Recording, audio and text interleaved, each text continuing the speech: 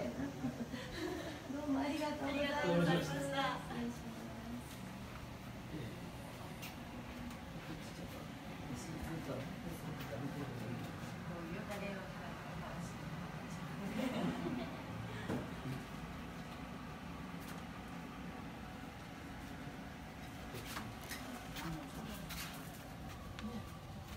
起きてちょっと最近こう羽ばたく練習なんかもし始めてるんでこう起きて活動的な時はこうわさわさわさってしたりしてかっこいいんですけど今ちょっとぐうたらした感じで。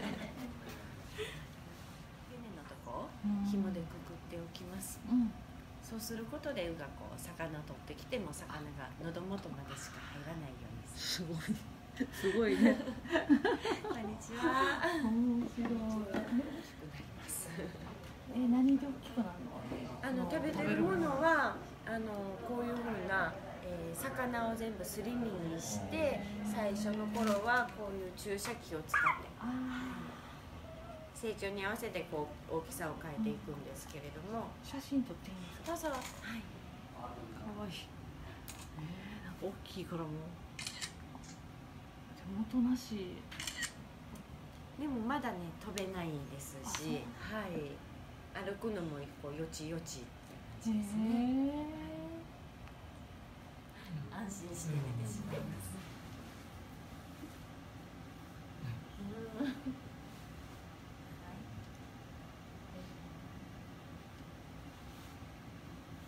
この子たちが、まあ、あの多分来、えーそうですね8月になったら、えーこの羽がね若鳥の羽に生え変わるようになったら水にも潜れるようになりますし、まあ、鵜飼にが早ければ来年のシーズンには鵜飼に出ることもできます。またもう今で、えー今までに生まれた9羽のウッピーの何羽かはもうすでに鵜飼でも頑張ってくれてます、えーくちばしでこう自分で卵の殻を割るんですね。でそこから約1日ぐらいかけて自分でこうくちばしで少しずつ殻を割っていきます。